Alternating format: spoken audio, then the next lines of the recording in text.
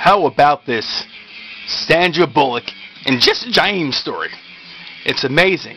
This guy, Jesse James, basically got Sandra Bullock handed to him on a silver platter because her son was a big fan of his.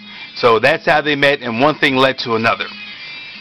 Allegedly, all this guy had to do was behave himself, but he chose to cheat on Sandra Bullock, who's attractive and is at the top of her game right now.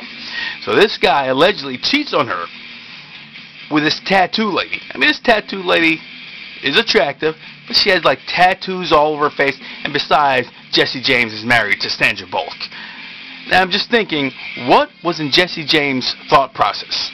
Was it, Yahoo! I love my women 36, 24, and lots of tattoos.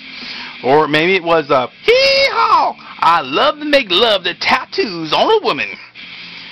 Or maybe he was thinking, nothing turns me on than tattoos all over a woman's face. Maybe it was this. I would have been more faithful to Sandra, but she just wouldn't get that three-foot tattoo of a truck on her back and a picture of my pet possum on her face. Or quoting the late great, nearly quoting the late great Rick James, maybe he was thinking, she's a very tattooed girl, from her head down to her toenails, down to her feet. Come on, us guys, we gotta get it. He's married to Sandra Bullock, attractive, a top the top of her game. What is this guy thinking? What is he doing? Come on, Jesse James, get a clue!